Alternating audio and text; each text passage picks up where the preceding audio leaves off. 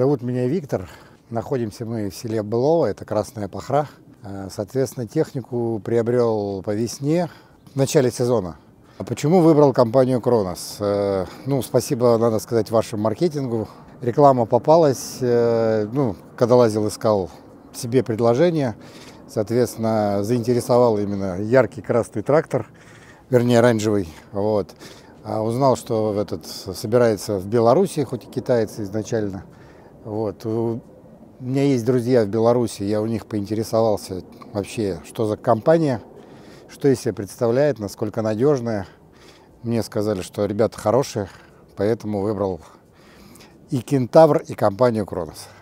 А почему я выбрал именно эту модель? Ну, приехал э, в офис, соответственно, сказали, что... Ну, то есть изначально я смотрел на 244 модель, да, мне было принципиально, соответственно, э, чтобы это было 4 ВД, да, и там движение вперед-назад ну, по скоростям, да, соизмеримые.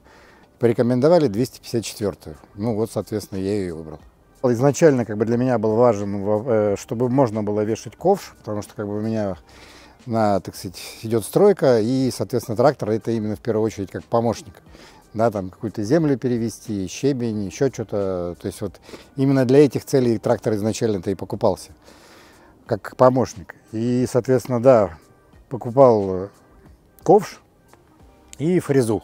Все покупал в Кроносе. Ну, во-первых, опять же, говорится, надо конкретно понимать, для каких целей покупается, да, техника. Вот, и исходя из этого, естественно, выбирать как бы там, ну, конкретные модели. Ну, короче, более тщательно прорабатывать вопрос, э, ну, наверное, как и в жизни, да, везде, там, покупаешь что-то большое и серьезное, как бы, да, нужно там детально проработать, зачем тебе это надо и что конкретно надо. С точки зрения именно как помощник, он себя оправдывает там на все сто.